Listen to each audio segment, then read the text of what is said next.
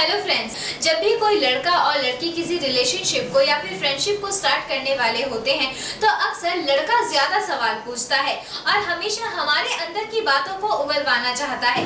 इसीलिए आज मैं आपको बताने वाली हूँ कुछ ऐसी बातें जो हमेशा हर लड़का एक लड़की से जानना चाहता है।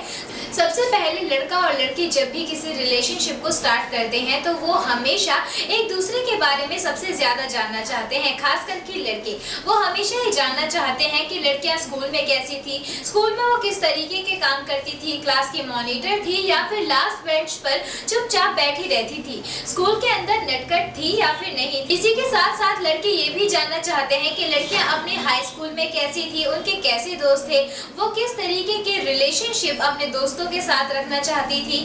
पास्ट अफेयर कैसे थे? और अपने सहायकों के साथ, यानी कि अपने सारे दोस्तों के साथ वो किस तरीके से बिहेव आती हैं? सेक्स के मामले में उनकी क्या राय है? और अपने लाइफ पार्टनर को लेकर वो क्या चाहती हैं? ये सारी चीज़ें लड़के किसी लड़की से हमेशा जानना चाहते हैं। इसीलिए दोस्तों, अगर आप भी किसी नई नई फ्रेंडशिप में पड़े हैं तो लड़का आपसे ये सारे सवाल ज़रूर पूछेगा। इसीलिए आपको थोड़ा सचेत रहने की ज़रूरत है, क्योंकि आपको अपने सारे राज किसी के आगे नहीं खोलने चाहिए। मेरी ब्यूटी और हेल्थ से रिलेटेड वीडियोस को देखने के लिए यूट्यूब पर लाइक शेयर और सब्सक्राइब कीजिए।